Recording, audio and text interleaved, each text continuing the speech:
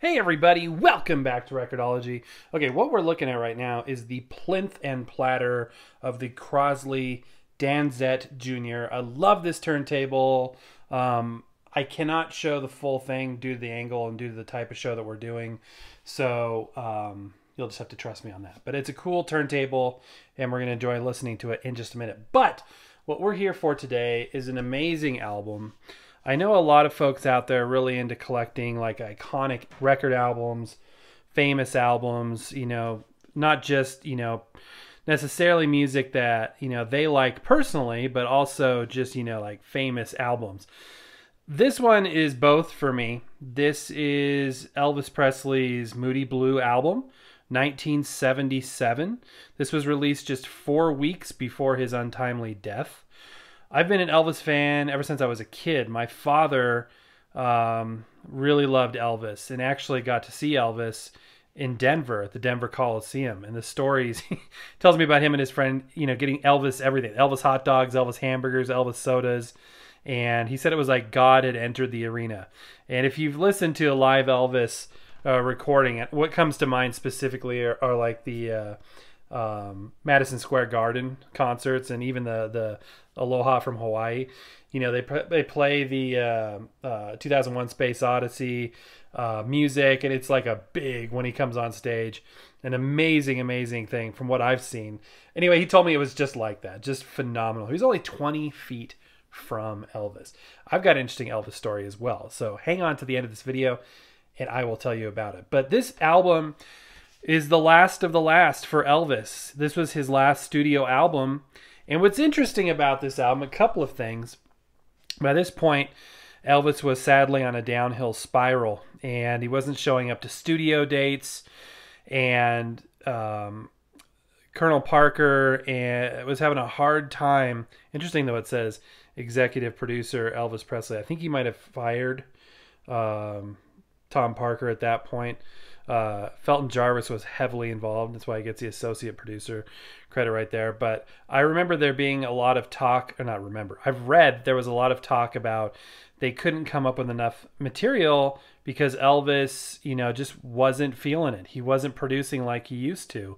Definitely never lost his love of music. I mean, even on his last day, he was still playing the piano and you know, singing and whatnot.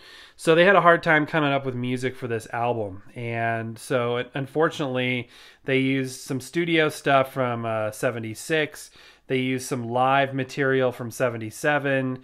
They had to edit things, and it, it took some doing to, to, to get this last album out.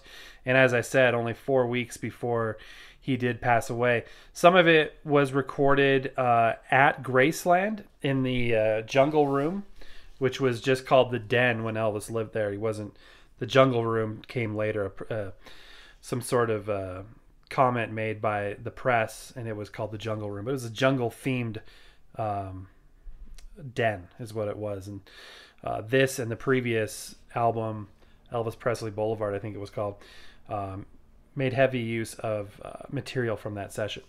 That being said, what's one thing that's really cool about this album? I mean, there's many things that are very cool about this album, but one of them, most notably, is something we can all appreciate. Is it's pressed in this beautiful, beautiful blue vinyl. This is the original 1977 repress, and it looks immaculate. You could still see that rainbow sheen that I talk about, which is usually a good indicator that the original polish is still on there and you know it's in good condition. And uh, look at the markings on there. Just just beautiful. It is a pristine pristine copy. I picked this up for i think 10 bucks. I, how can you beat that? You know what i mean? But the color of this vinyl who would have guessed that this was you know 43 44 years old? It looks like it's you know this is like a hipster repressing of something that you know they got it um, Urban Outfitters. you know what I mean? But it's not. It's 43 years, half a century nearly. Um, so yeah, and ironically, the rare edition of Moody Blue was the black vinyl. If you could find the black vinyl one, that was the rare one because the majority was pressed in this. So if you are not an Elvis fan per se, um, let's. I want to give you a little cursory tour of this album and uh, play some of my favorite songs. And um, I think you'll enjoy it. And then I've got my little Elvis story at the end. You want to stay tuned for that for sure. Um, so yeah, let's go through here. And um, one of my favorites is number three, Little Darlin'. This is sort of like a 50s sounding uh, song. And he used to get a kick out of doing this because it was a goofy song. And the live versions of him playing this are, uh, are hilarious because he, he does not take himself too seriously. So here's a little snippet of that.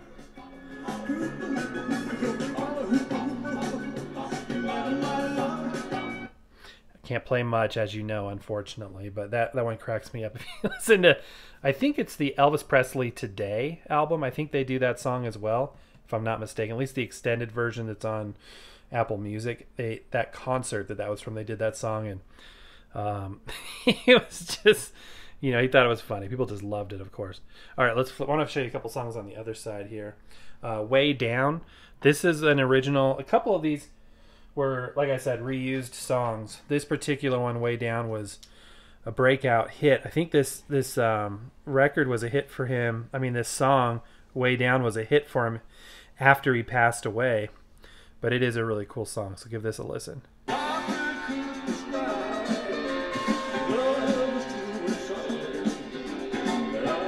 wish I could play more, but I can't. Um, let's see here. What else do we have on this side that I want to play for you? Uh, Moody Blue will play that um, song next. So this is Moody Blue.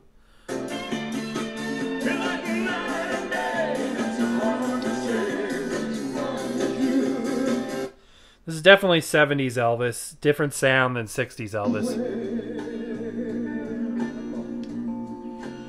A lot of songs have uh, country undertones.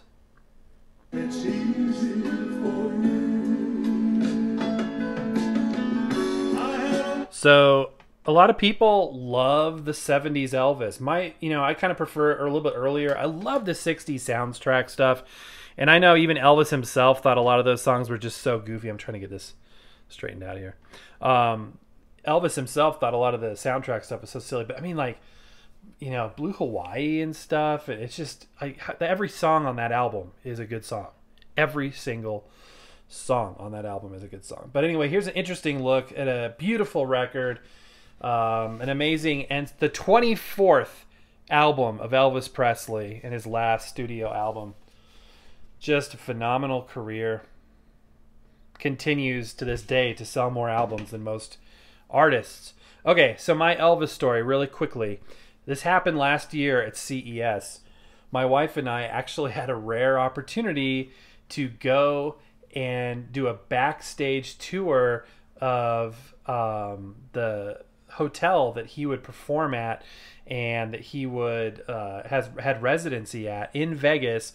And we not only got a tour of the showroom that a lot of the a lot of the footage you see on YouTube, Elvis performing in the in the showroom itself, right there in the hotel in the resort. Uh, at the time, it was the Hilton.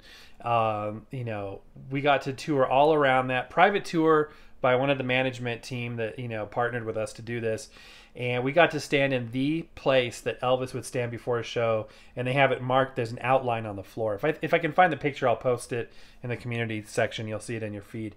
Uh, but a super cool, rare opportunity to walk where Elvis walked. We got to go in his private elevator, private dressing room.